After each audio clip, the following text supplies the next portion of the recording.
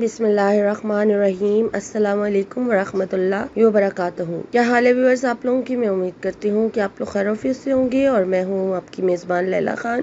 और आप देख रहे हैं मेरा चैनल वजीफ़ा इन उर्दू। व्यूअर्स आज मैं आप लोगों के साथ जो वजीफ़ा शेयर करने जा रही हूँ, वो सुरह का एक बहुत ही कामयाब गारंटेड अमल है और बहुत ही मुजरब अमल है।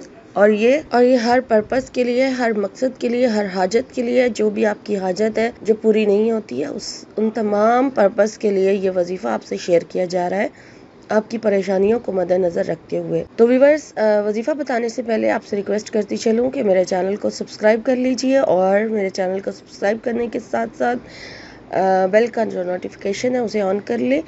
और सदका जारी समझ के वीडियो का लिंक जो है, ज़रूरतमंद लोगों के साथ ज़रूर शेयर करें। शुक्रिया। तो वजीफ़ा नोट कर लीजिए, सबसे पहले ये आपने ये वजीफ़ा जो है, इसका टाइम या तो आप इसे ईशा की नमाज़ के बाद करेंगे और एनी टाइम कर सकते हैं, यानी ईशा की नमाज़ जब आप अदा कर लेंगे, उसके बाद लेट नाइट किसी वक्त भी आप इस वजीफ़े को कर सकते हैं। आपने खामोशी और पुरसकून वक्त पर इस अमल को करना है ताकि कोई आपको डिस्टर्ब ना कर सके।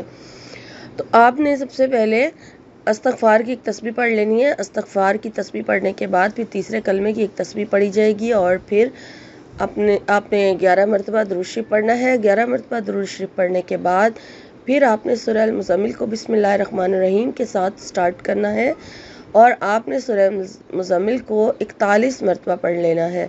और जब इकतालीस मरतबा सुरह मुजम्मिल आपकी कंप्लीट हो जाएगी तो उसके बाद फिर आपने सुरह कदर की तरफ़ चले जाना है और सुरह कदर को आपने इक्कीस मरतबा कंप्लीट कर लेना है। और फिर जब इक्कीस मरतबा सुरल कदर भी पढ़ी जाएगी तो उसके बाद फिर आप अपने मकसद की दुआ की करेंगे।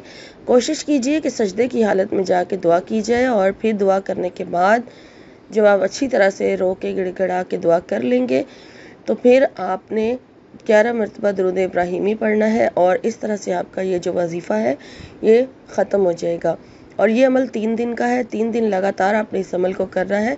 इन ताला इस वजीफ़े की बरकत से तीन दिन के अंदर अंदर आपका मकसद जो है वो पूरा हो जाएगा और वजीफ़ा खालिस अल्लाह की रज़ा के लिए किया करें और दुआ उसके वसीले से मांगा करें। तो ये थी आज की वीडियो। उम्मीद करती हूँ आपको आज का वजीफ़ा जो है अच्छा लगा होगा। इन एक नए वजीफ़े के साथ एक नई वीडियो में आपकी खदमत में हाजिर होंगी। अपना और अपनों का ख्याल रखें। फ़ीमान